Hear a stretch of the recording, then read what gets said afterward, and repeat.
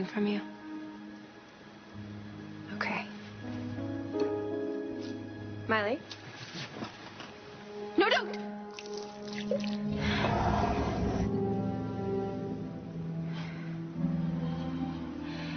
Please don't be afraid.